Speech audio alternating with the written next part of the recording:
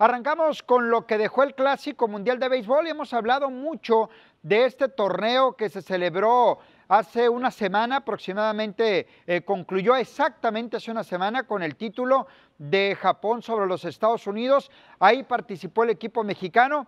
Para mi punto de vista, una extraordinaria participación la que tiene nuestro país en este evento de clase mundial y que hoy cuando se da a conocer el ranking de lo que representa este deporte, béisbol y softball, sobre todo para varones a nivel eh, mundial, aparece México escalando posiciones y llegando al tercer lugar en el ranking mundial de este deporte. Realmente, Poncho, México debe estar colocado ahí, se lo ha ganado a pulso, no se lo ha ganado a pulso, ¿cuál es tu opinión?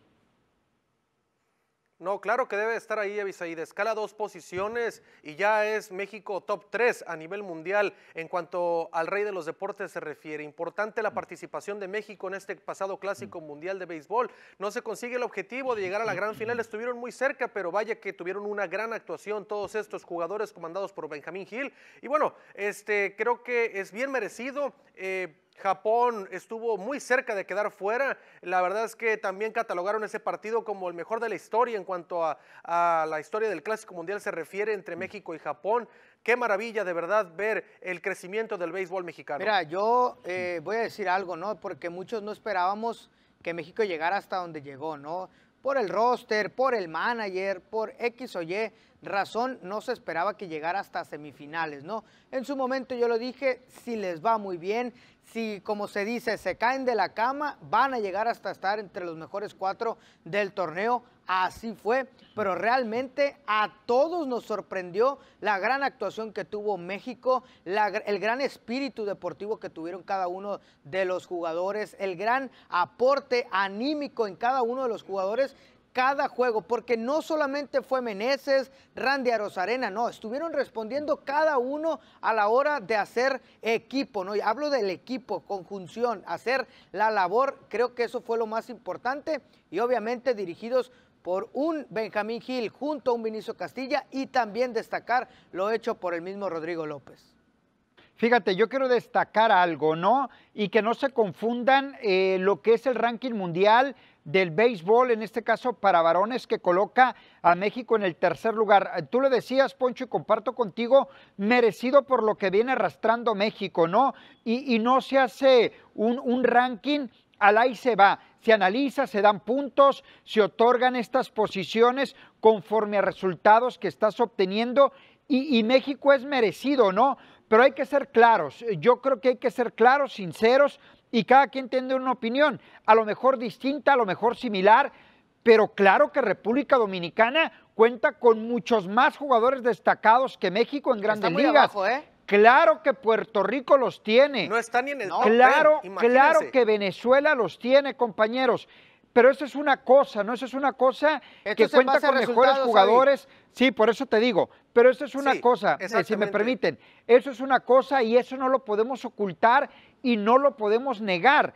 Pero de ahí a que ellos cuenten con jugadores top a nivel mundial, a nivel grandes ligas, Claro que eso no se tapa el sol con un dedo, pero lo hecho por México, sobre todo en este clásico mundial, nos deja una selección mexicana que con todo y que no tenga esos nombres, que tenga estos equipos, hicieron el papel ya en, lo que fue el torneo para colocarlos en esa posición. Mira, yo, yo creo que también hay que voltear atrás, ¿no, Poncho?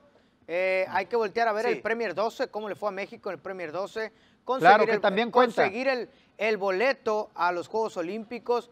La actuación de los Juegos Olímpicos no fue buena, pero estuviste en los Juegos Olímpicos, no sumaste, cualquiera. vaya, sumaste. No cualquiera, no cualquiera está en los Juegos Olímpicos, pero ahí estuviste. Y creo que todo eso es una escala, no es una son escalones que México fue subiendo. Y ahí están los resultados. Al final, el ranking te está poniendo en el lugar. No, no lo he hecho en el Clásico Mundial. Ojo, no es, el, no es lo hecho en el Clásico Mundial. Es, todo, pero también cuenta. Pero es también una suma de varias cosas, ¿no?